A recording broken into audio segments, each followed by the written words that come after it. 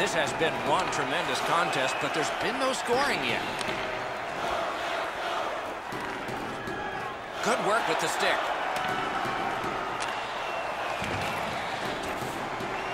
Up corralled by Winnik. Solid defensive position there. Pushing it on in the defensive zone. Could this be icing? And it will be based on the defense arriving first.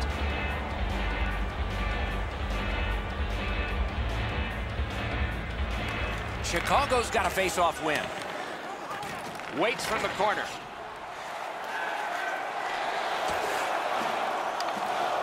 Puck controlled by Alexander Ovechkin.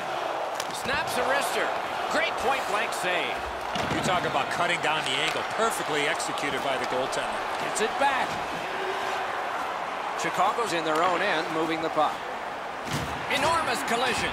That's what we love about this game. And he steps across the line. Score! Only one perfect goalie remains now. Washington's rolled up a huge advantage in time of possession, but just a narrow lead of 1-0 thanks to that goal. On to Kane.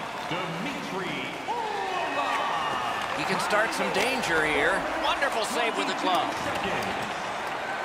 The puck is fielded now by Johansson. Snapping a pass to Kuznetsov. Step, score!